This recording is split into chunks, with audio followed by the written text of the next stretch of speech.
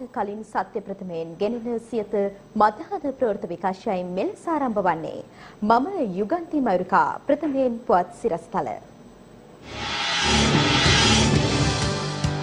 ලක්ෂ්මන් කදිරගාමර් ඝාතනයට සම්බන්ධ LTT සමාජිකයෙකුට ජර්බානු අධිකරණයෙන් මාස 82ක සිරදඬුවම්.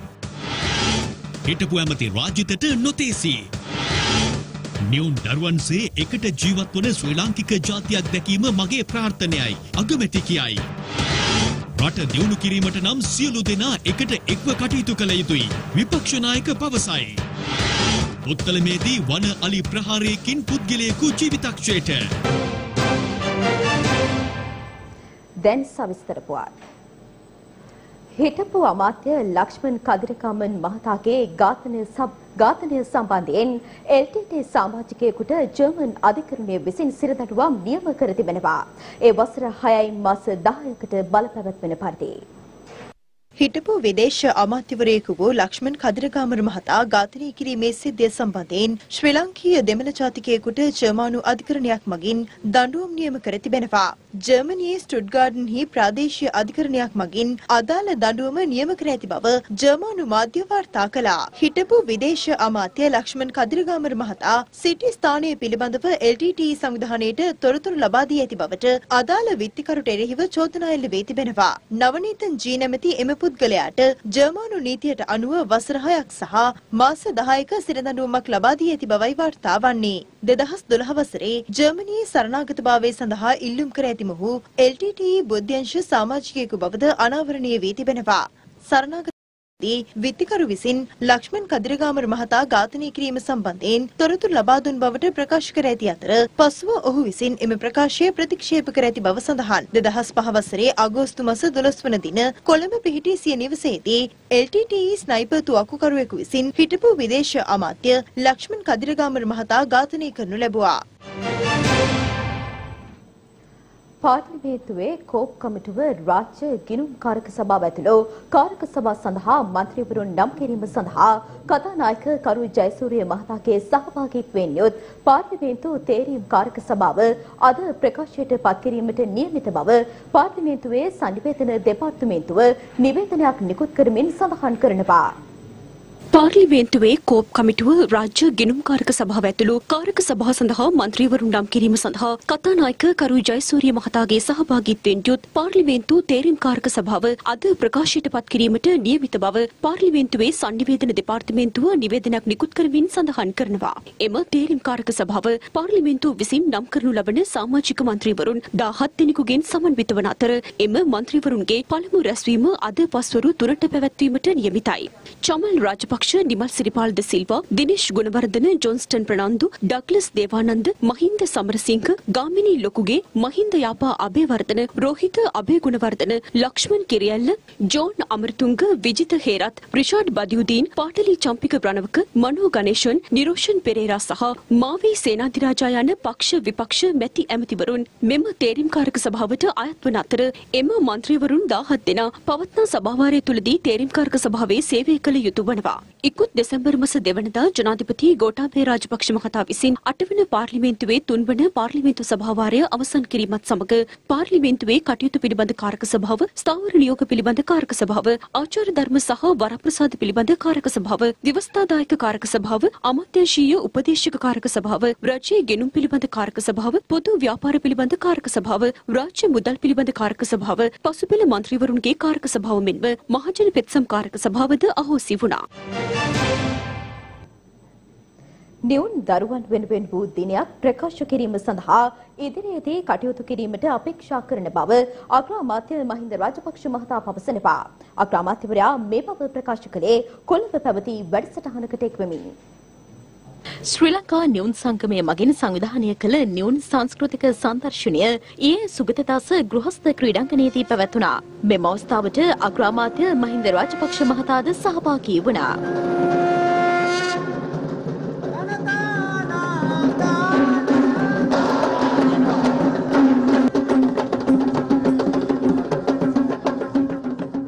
මෙම නිවුන් සංස්කෘතික සංදර්ශනය සඳහා නිවුන් සහෝදර සහෝදරයන් දොළොස් දහස් හාරසය අනු දෙදෙනෙක් සහභාගී වී සිටියා.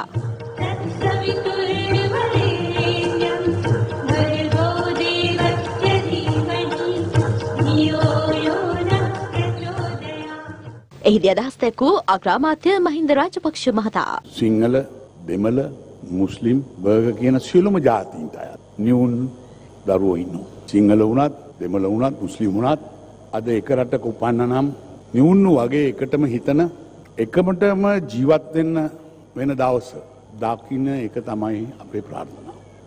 පුත්තා වස වාස්තු මනුස්සානම් කියල තමයි බුදුහාමුදුරුව දේශනා කළේ. දරුවෝ තමයි අපිට තියෙන උතුම්ම සම්පත අපි රජයක් ඇටිකට මේ දරුවෝ ගැන නීතිරීති ඉදිවිධානවලින් ඔබට ගිහින් හිතන් ඩෝඩු. එනිසා මේ නියුන් අයගේ වුවමනා ගැන රජයක් හැටියට හිතන්ට අපි සූදානම් කියනක මේ අවස්ථාවිදි මතා කරනු. නියුන් කැම හැදෙන්නේ භාවිතයෙන්. එනිසා ජාතික නියුන්දිනයක් ප්‍රකාශයට පත් කරන්න ඕනය කියලා අපෙන් ඉල්ලීමක් කරලදීම. ඒ පිළිඳ අප අවශ්‍ය ක්‍රමවේදී අනුගමනය කරන්න බලාපොරොත්තු දැ බලන් දේශපාලනය තියෙන පොහොට්ටුව දැන් ඒක නියුන් වෙලා ශ්‍රී ලංකා නිදහස් පක්ෂය සම සමාජ පක්ෂය කොමිනිස් පක්ෂය රට වෙනුව එකතින් ඉතින් එතකොට ඒ වගේම සමහර දේශපාලන පක්ෂවල නම් කියපු ගමන් කෙනෙකුට තේරෙනවා ඒගොල්ලෝ අධිරාජ්‍ය ගැටී කියලා. ඒගොල්ලොත් එකටමයි ඉන්නේ. ඒ දේශපාලන පක්ෂවල නම් කියපු ගමන් දන්නවා ඒගොල්ලෝ ආවොත් රට විකුණනවා රට කඩනවා කියන එක සාමාන්‍ය ජනතාව පිළිගන්න මතයක් බවට පත් වෙලා.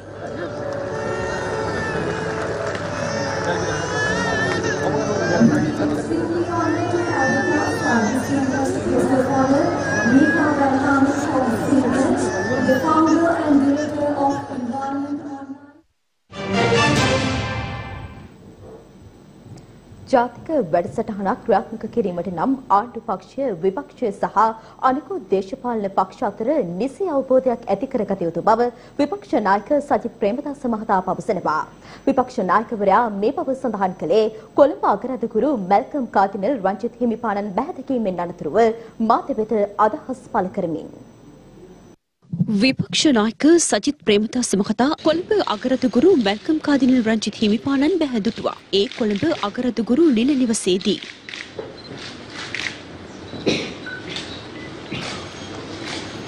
උන්වහන්සේ බැහැදුටු විපක්ෂ නායකවරයා එහිදී වත්මන් දේශපාලන තත්ත්වය පිළිබඳව සාකච්ඡා කර තිබෙනවා. මෙම අවස්ථාවට පාර්ලිමේන්තු මන්ත්‍රීවරුන් වන ජෝන් අමරතුංග, නිරෝෂන් පෙරේරා සහ හෙක්ටර් අප්පුහාමි යන මහත්වරුන් ඇතුළු පිරිසක් එක්ව සිටියා.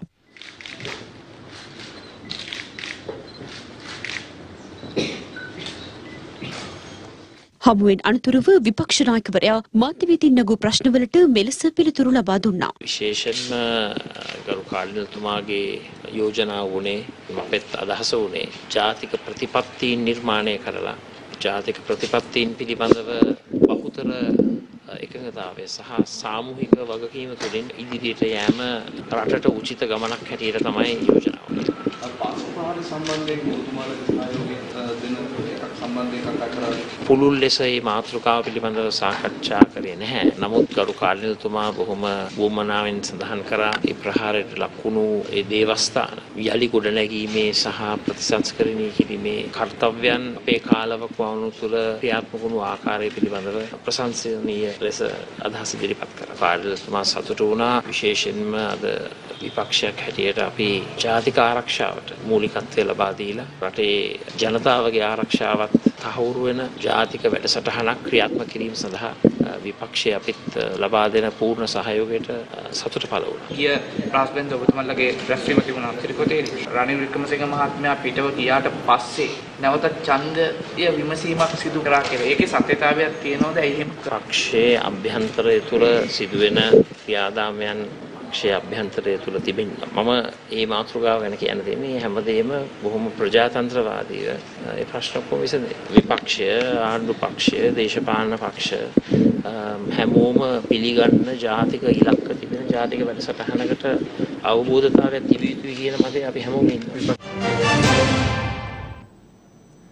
ඉදිරි මහමැතිවරණයේදී ජාතික ජනබලවේගයෙන් තරඟ කිරීමට සූදානම් බව ජනතා විමුක්ති පෙරමුණේ පාර්ලිමේන්තු මන්ත්‍රී නලින්ද ජයතිස්ස මහතා පවසනවා. ඒ කළුතර ප්‍රදේශයේ පැවති මාධ්‍ය හමුවකට එක්වමින් අපි ඉදිරි මහමැතිවරණයේදී ජාතික ජනබලවේගයේ හැටියට මාලිමාව ලකුණෙන් ඉදිරිපත් වෙන්නට දැන් කටයුතු සූදානම් කරමින් යනවා. අපිත් එක්ක පහුගිය ජනාධිපතිවරණයේදී එකතු වුණු දේශපාලන පක්ෂ, දේශපාලන කණ්ඩායම්, පුද්ගලයන්, සිවිල් සංවිධාන, වෘත්තීය සමිති මේ සියලු දෙනා ඒ ජාතික ජනබලවේගයේ වැඩපිළිවෙලත් එක්ක එකවන්ව දැන් කටයුතු කරමින් යනවා.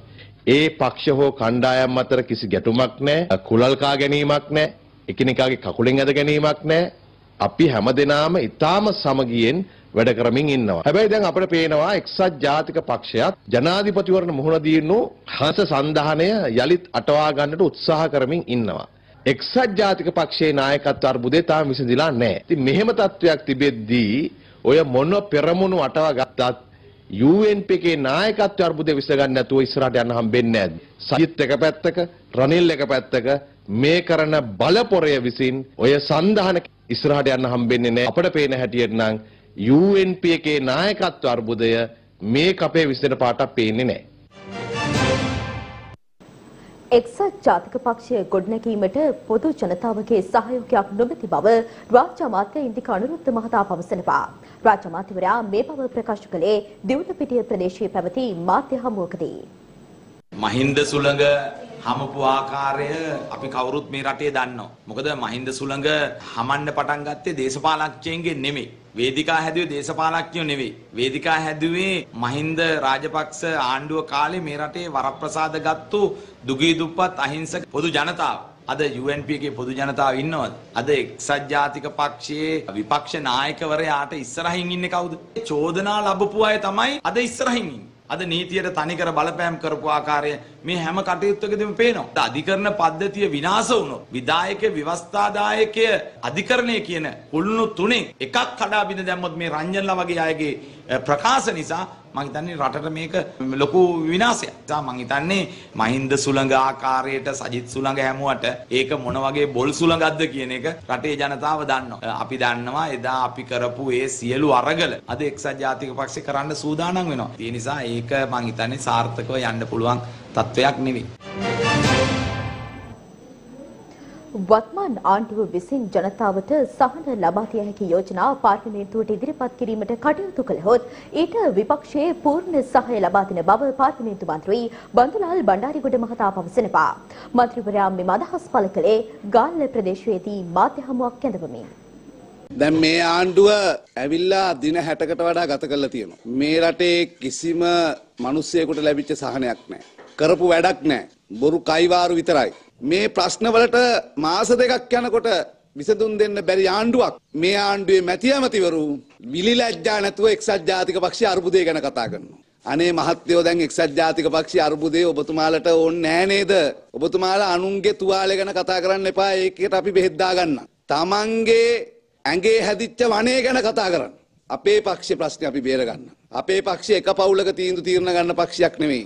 ජනතාවට සහන දෙන යෝජනා සහ නීති කෙටුම්පත් අවශ්‍ය නම් ගේන්න පාර්ලිමේන්තුවට අපි අත උස්සලා සියලුම දෙනා සහයෝගය දෙනවා පාර්ලිමේන්තුව. තුනෙන් දෙක මේ පාර්ලිමේන්තුවේදීම දෙන්න. තුනෙන් දෙක නෙමෙයි සම්පූර්ණ ඡන්දය අපි දෙන්නම් එකතු වෙලා. රට බෙදනව රට කඩනවා කියලා මිනිස්සු මුලා කරලා මේ ආණ්ඩුව ගත්තේ. ඒ නිසා දෙවියෝවත් මේගොල්ලොන්ට ආශිර්වාද කරන්නේ නැද්දෝ කියලා මට සැකයක් තියෙනවා. එක්සත් ජාතික පක්ෂයට තවමත් අගමැති අපේක්ෂකයා සහ ඉදිරි මැතිවරණයට ඉදිරිපත් වන අපේක්ෂකයින් පිළිබඳව ප්‍රකාශ කිරීමට නොහැකි වී ඇති බව පාර්ලිමේන්තු මන්ත්‍රී චන්තිම විරක්කොඩි මහතා පවසනවා. ඒ ගාල්ල ප්‍රදේශයේ පැවති මාධ්‍ය හමුවකදී. ශ්‍රී ලංකා නිදහස් පක්ෂයයි ශ්‍රී ලංකා පොදු ජන පෙරමුණයි කියන්නේ දෙකක් නෙමෙයි එකක්. ඒක තමයි මගේ මතය. පහුගිය මැතිවරණවල ශ්‍රී ලංකා නිදහස් පක්ෂය හැටියට තරඟ කරපු ගොඩ නැගුණු කණ්ඩායම තමයි මේ ශ්‍රී ලංකා නිදහස් පක්ෂය සහ ශ්‍රී ලංකා පොදු ජන පෙරමුණේ ඉන්නේ. අද එක්සත් ජාතික පක්ෂය බලන්න. එක්සත් ජාතික පක්ෂය එකයි එකයි කිව්වට ඒ අය අතර තියෙන වෙනස්කම්, පරස්පර විරෝධීකම් දැන් වෙනකොට නායකයෝ තුන්දෙනෙක් ගැන කතා කරනවා. දැන් වෙනකොට ප්‍රසිද්ධිය ඇවිල්ලා කියනවා කණ්ඩායමක් රනිල් වික්‍රමසිංහ මහත්තයාට බෑ කියන. රනිල් වික්‍රමසිංහ මහත්තයාගේ පාර්ශවයේ කණ්ඩායම මාධ්‍යයටත් කියනවා සජිත් ප්‍රේමදාස මහත්තයාට බෑ කියලා. එක්සත් ජාතික පක්ෂයට තාම බැරි වෙලා තියෙනවා කවුද අගමැති අපේක්ෂකයා කියලා තීන්දුව කරගන්න. කවුද ඡන්දෙ ඉල්ලන අපේක්ෂකයෝ කියලා තීන්දුව කරගන්න. මොන අරමුණකින් ඡන්දෙ ඉල්ලනවද කියන එක තීන්දුව කරගන්න. ඉතින් එතකොට එවන් පක්ෂයකට මොන සන්දානයකින් එකතු වුණත් ජනතා විශ්වාසය තහවුරු කරගත හැකිද කියන ප්‍රශ්නය මේ රටේ මිනිස්සු අතර තියෙනවා. ආඩිකම නාගවිල ප්‍රදේශයේදී වන අලියෙකුගේ පහර දීමකින් පුද්ගලයෙකු ජීවිතක්ෂයට පත් වී තිබෙනවා. අදාළවම මෙම අනතුර සිදුව ඇති බවටයි අප වාර්තාකරු ප්‍රකාශ කළේ. මෙම අවාසනාවන්ත සිද්ධියට මුහුණ දුන්නේ ආණිගම නාගවිල ප්‍රදේශයේ පදිංචිව සිටි 65 හැවිරිදි ගාමිණී ගුණවර්ධන නැමැති අවිවාහක පුද්ගලයෙක්. ඔහු හිතවතෙකුට අයත් ඉඩමක වටක්කා වගාවක් සිදු කරගෙන ගොස් ඇති අතර එය රැක ගැනීම සඳහා ඒ අසන්නේ කුඩා පැලක රැඳී සිටියේදී මෙම වනාලි ප්‍රහාරයට ලක් වී තිබෙනවා. ඉතින් පිටිපස්සේ සද්දයක් ඇහුණා ඉතින් මම ගණන් ගත්තේ නැහැ එච්චර. ඊට පස්සේ පොඩ්ඩකින් ගාමිණී කෑ ගහන ඇහුණා. සුනිල් මාමේ බේරගන්න කියලා මම එද්දි අලියා කෑ ගැහුවා.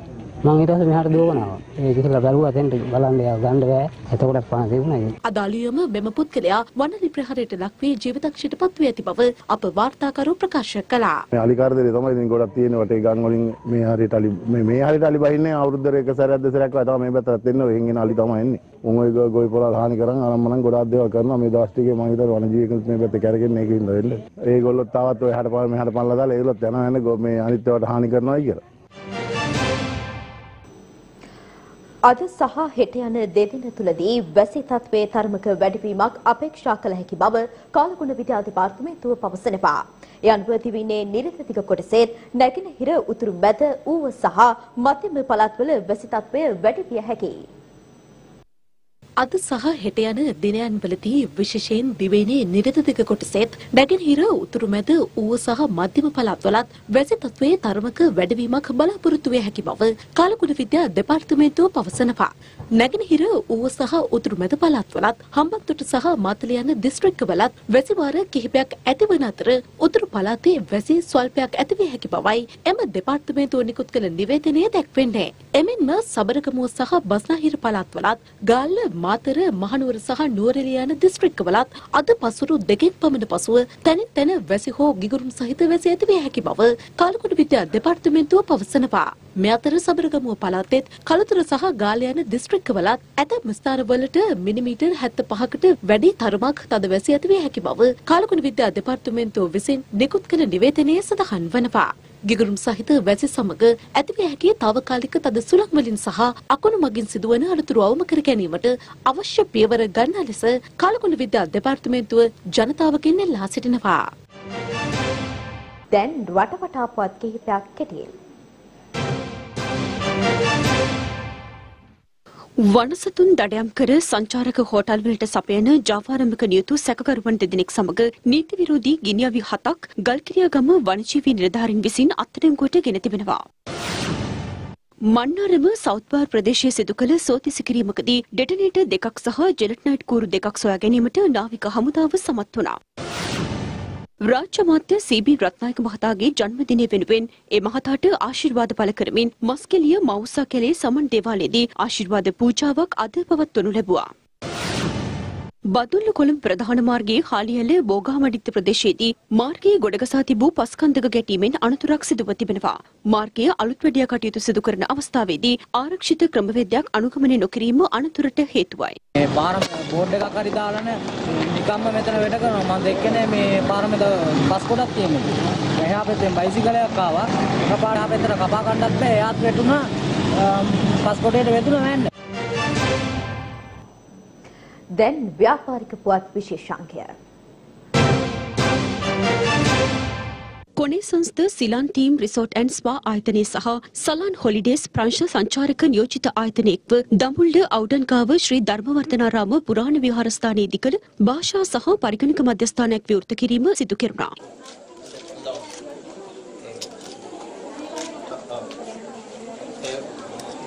ඒ ප්‍රංශතානාපති එරික් ලැබටෝ මහතා සහ ටීම් රිසෝට් ඇන්ඩ් ස්පා ආයතනයේ සභාපති චන්ද්‍රා වික්‍රමසිංහ මහතාගේ ප්‍රධානත්වයෙන්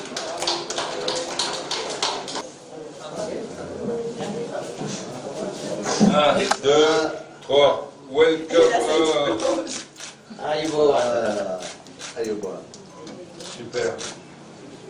Ça c'est sigle de notre අපේ ඇසෝසියේෂනයක් තියෙනවා චැරිටබල් ඇසෝසියේෂනයක් ඒක අපේ හෝටල් සමූහය සහ අපේ සංචාරක ආයතනය සම්බන්ධයෙන් අපි ලංකාවේ හැමතැනම වගේ මේ වගේ කම්පියුටර් සෙන්ටර් සහ ඉංග්‍රීසි පන්ති නොමිලේ පවත්වන යනවා. මේක අපි පටන් ගත්ත හතරවෙනි කම්පියුටර් සෙන්ටර් එක. මේ ගමේ මේ කම්පියුටර් සම්බන්ධයෙන් කිසිම ඉගෙනීමක් මේ පාසල් වල වෙන්නේ නැහැ. ඒක නිසා තමයි අපි මේක නොමිලේ ඉස්කෝලේ වලින් පස්සේ මෙහෙට ඇවිල්ලා මෙතනට ඇවිල්ලා වැඩි දුර නැහැ. කිලෝමීටර එකේ දෙකක්. මේ ගමේ ඉන්න ළමයි 300ක් ඒ කට්ටිය වෙනුවෙන් වෙනුවෙන් තමයි මෙම මේ කොම්පියුටර් මධ්‍යස්ථානය මෙම ඉදිරි කෙරුවේ. නවීකරණය වෙන ලෝකෙට ඒ වගේම ජාත්‍යන්තරය දිනන්න යන ලෝකෙට අහිංසක ගමේ දුප්පත් ළමයින්ට ඒ ස්ථානයට යෑම සඳහා දෙන අත්වලක් හැටියට තමයි අපි දකින්නේ මේ අලියා රිසෝල්ට් ආයතනය අපේ චන්ද්‍රා වික්‍රමසිංහ මහත්මයා ප්‍රධාන ආයතනයට සම්බන්ධ සියලු දෙනා විසින්ම මේ නව පරිගණක පාඨමාලාවක් ආරම්භ කිරීමත් ඒ වගේම ඉංග්‍රීසි පාඨමාලාවක් ආරම්භ කිරීමත් අද දිනේදී මේ ස්ථානයේදී සිද්ධ වෙනවා. අලියා රිසෝල්ට් ආයතනයේ ඒ චන්ද්‍රා වික්‍රමසිංහ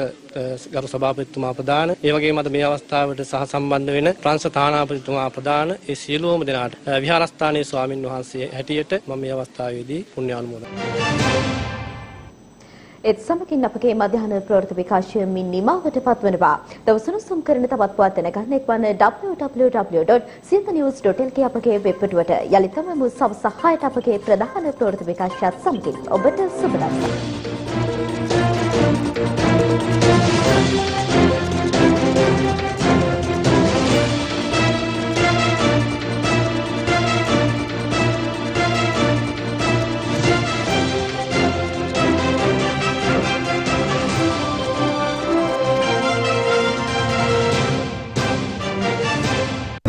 දිනපතා අලුත් වීඩියෝ සහ ප්‍රවෘත්ති නැරඹීමට ඉහත බටන එක ක්ලික් කර සියත TV සබස්ක්‍රයිබ් කරන්න.